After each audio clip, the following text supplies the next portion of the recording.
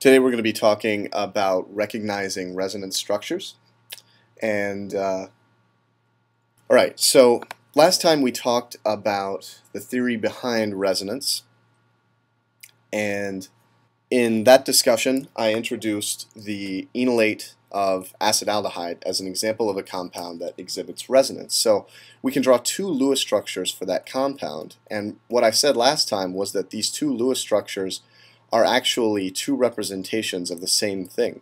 So in other words, the Lewis picture of electrons as localized into pairs and single bonds isn't really enough to tell us the whole story because the molecular orbitals of both of these compounds, both of these Lewis structures, are actually the same. So the real molecule is kind of like a hybrid of the resonance structures. So there's kind of like half a pi bond, if you will, between the carbon and the oxygen and the carbon and the carbon. And the negative charge is sort of spread out. There's kind of like a half negative on one carbon and a half negative on the oxygen there.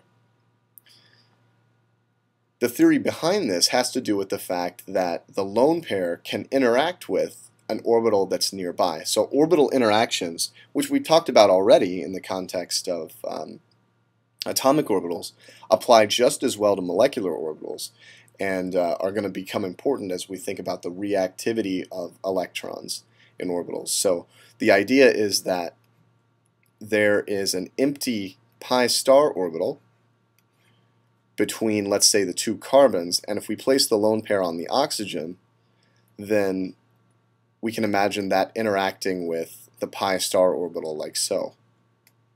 That filled empty interaction, if we were to draw this on an energy diagram, would look like this. Whoops.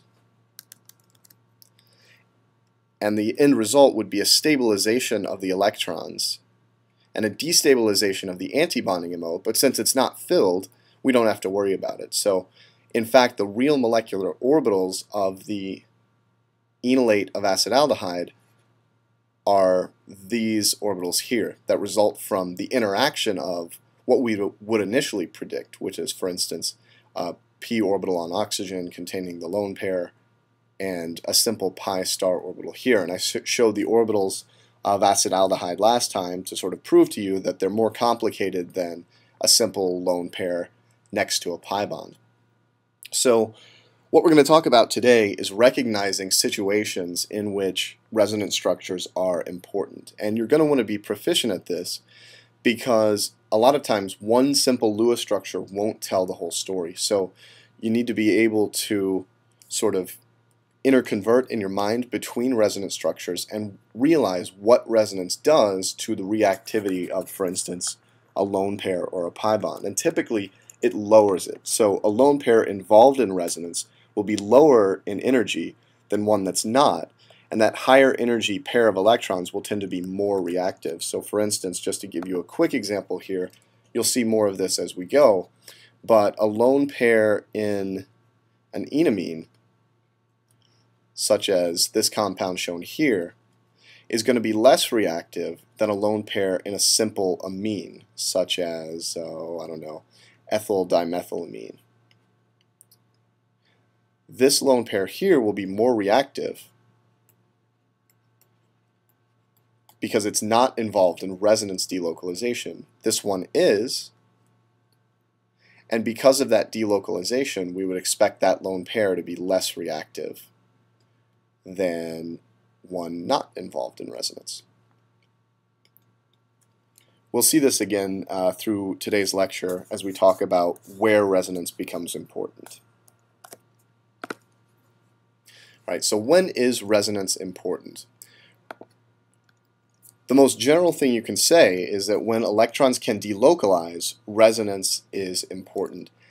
Electrons can delocalize in orbital terms when they're next to an empty orbital. So a very basic situation, let's take two carbons, one negative and one positive. The negative one, of course, would have to have a lone pair. The positive one, let's draw it sort of in this perspective. The positive one will have an empty orbital that plus, let me draw that a little bit better. There we go. That carbocation will have an empty orbital, empty p orbital, and now we have an empty orbital right next to a filled orbital.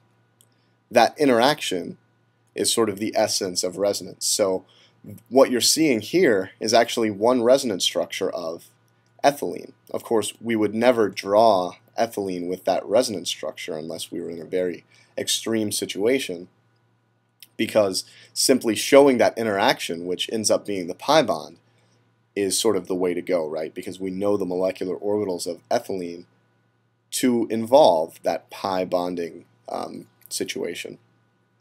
But as an extreme, you can imagine this is pretty much the simplest case of resonance you'll ever see. When it really becomes important is when the lone pair is in a high energy orbital and the empty orbital is lower, lower in energy. So you'll recall back in the day when we talked about resonance, uh, excuse me, when we talked about orbital energies, that the closer in energy two orbitals are, the stronger their interaction. So if we're taking a filled and an empty orbital and combining them together, we'll get a larger splitting the closer the orbitals are in energy. And we get the orbitals close in energy by involving high energy filled orbitals with low energy empty orbitals. That sort of squeezes their energies together and we get more stabilization out of the interaction. So as an example of this, going back to the enolate example, the negative uh, the electrons on the negatively charged oxygen are very high in energy they want to get away from the other negatively charged electrons. And the pi star is a relatively um, low energy, uh, empty orbital, I should say. The pi star is a relatively low energy empty orbital. And so this interaction in which we donate a lone pair into the pi star is quite favorable because we have a high energy filled orbital interacting with a low energy empty orbital to give us the resonance structure. And if you did this process in reverse, considering the carbocation, or excuse me, the, the carbanion with a lone pair on carbon, with the CO double bond pi antibonding orbital, you would get the same result. So this lone pair is very high in energy, and the carbonyl, as it's called, the CO double bond is the carbonyl group, um, pi star orbital is low in energy. Hence, going in the reverse direction is also favorable. So often when charges are involved, we see resonance becoming important because charges affect the energy of orbitals substantially, right? So electrons in on a negatively charged atom will be substantially higher in energy, for instance, O minus, will be substantially higher in energy than electrons on a neutral atom, such as in a carbonyl.